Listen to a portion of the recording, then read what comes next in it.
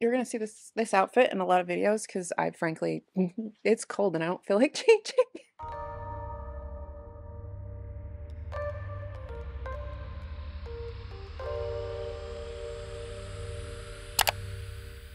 Hello, book friends. I have a super, I hope it's super quick. Every time I say something is super quick, it isn't super quick, but I have a super quick video for you all. Uh, so, hello, book friends. Let's do the intro. Hello, book friends. Welcome to the channel. Hello, if you are new. I'm Alyssa. Let's talk about some books. If you follow along, you know that I recently went to Virginia, Maryland to see Naomi, my podcast co host and good friend, uh, to go book thrifting to, on Wholesome Books, to just have like a great girls' weekend. And on that trip, I had a couple books that I was looking for, a couple authors, a couple things that I was really looking for. And then, of course, I got a whole bunch of other stuff that I didn't really have on my list and I probably should have left behind, but I didn't. So it's here and I'm going to read them. But one of the things I have been looking for are books by Barbara Pym because I keep seeing her around as like this really beloved British author from like modern times. She wrote a lot of modern classics, and I was been very curious to find out why people love this woman so much and why here in the US maybe I haven't heard about her as much, but I finally found two copies of uh, Barbara Pym books out and about thrifting because I never see them. I don't think she has the same popularity here in the US that perhaps she has in the UK. So I don't know if like she's going to show up a lot in like my thrifting as a result. So when I found two books by her, I was I was psyched. I was psyched and I could not wait to jump in to the world of Pym. So I started with Excellent Woman, which I've heard, I guess, now that I've read it, I've heard that this is like one of the best places to start with her writing. So good on me for actually doing that. And can I just tell you, I think I'm in love with Barbara Pym because this was such a like compulsively readable, fresh, fun, funny at times, observant, good time. The way that Pym writes these characters, they feel like so real they feel like people that live in your in your in your neighborhood in your village in your town they feel like you can go out into the street and you're going to meet these people and you're going to know these people. They're so incredibly real. And she sets place so nicely. So this is following, I'm going to get her name right, Mildred Lathbury. And she is this sort of spinster woman. She lives in an apartment in this sort of quaint area of London in the 50s. And so we're in austerity. It's post war. It's a very interesting time in British history as well. She had been living with her friend, and her friend has moved out. And now she's living by herself in this apartment where she has to share a bathroom with the other tenants, which she, she doesn't really like, but okay.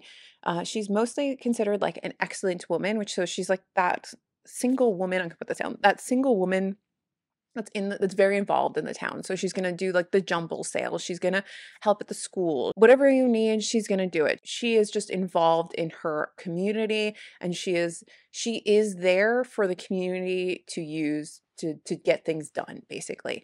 She she will cook you a roast for the community dinner. She will she will sort your donations. She will apparently get herself absolutely wrapped up in the lives of complete strangers to the point where it's weird. But one day this couple moves in. She's basically living this very like quaint not really interesting life just going about her life and one day this couple moves in and they're quite kind of glamorous in comparison.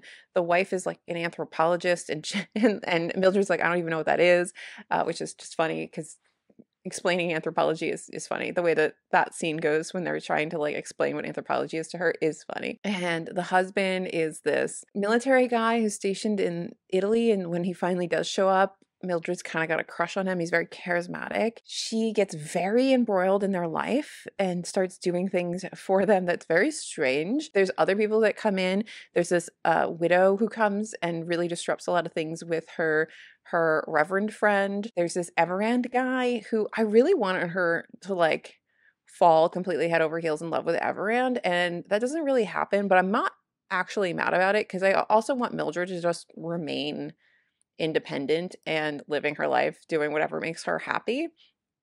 It was just so fun watching how all these characters interact with each other and how they interplay and how Mildred observes life because she is she is our narrator and she is she is describing everything. So you're in her head the entire time and her observations on life are often hilarious.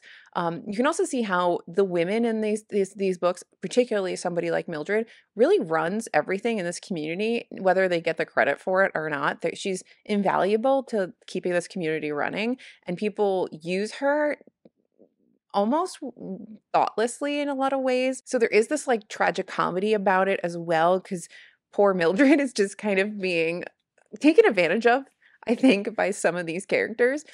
But she does kind of take everything in stride and it's all rather lighthearted. But I just I love the dialogue. I love the setting. I love the place. It makes you want to move there and and interact with all these people. It's like watching any of those BBC shows that we as Americans absolutely love. Like, you know, you go sit down on PBS and you watch like Father Brown or like the new ones or Grantchester and like you want to be in these little towns in the 50s and like solving murders or whatever. Or maybe that's just me. I don't know. Maybe that's that's my dream is to live in a little quaint English village and solve mur- murders. But anyway, the long and the short of it is because I don't want this to be a very long video.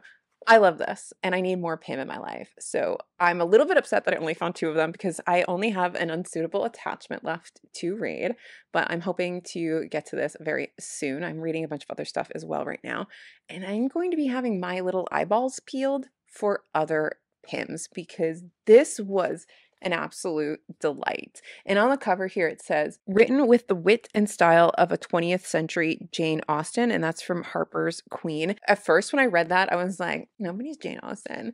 And okay, she's not Jane Austen, but if anybody that I have read from this kind of era is going to be given like you are Jane Austen esque, it's Barbara Pym. And I absolutely adored her, which, given the comparison, should be no surprise to anybody who knows me. But I highly encourage people to read this if you're looking for a very relaxing read, a very interesting read. If you like getting into the nitty gritty of people's lives, I think it's fun. Like it's a gossipy read. If you want a gossipy read, get this book. I think it's a good gossipy read.